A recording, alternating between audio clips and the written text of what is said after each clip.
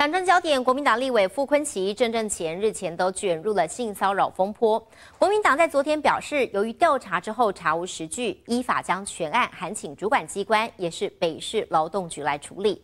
民进党立委范云痛批是可笑又可耻，看到傅昆奇就缩手。而在今天，傅昆奇也亲上火线回应，表示尊重党的调查结果，但是劳动局截止到中午还没有收到国民党提交的相关资料。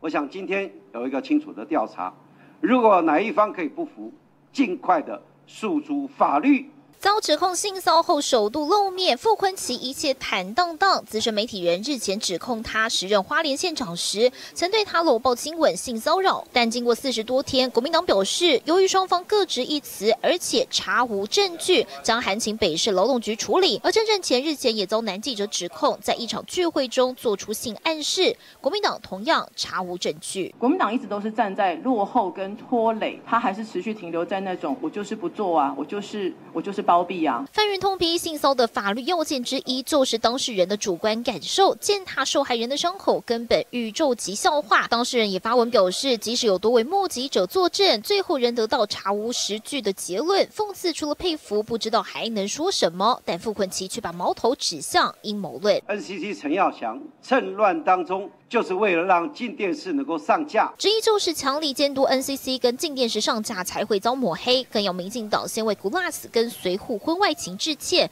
而蓝伟同一时间本来要陪同李姓随护的原配召开记者会，却突然取消，因为周豪杰他的压力实在是太大，对他放话来对他施压，呃，然后希望他撤告。迷途事件再到桃色争议，以为二零二四选战掀起巨大波澜。记者黄云峰、浩宇、张元杰台报道。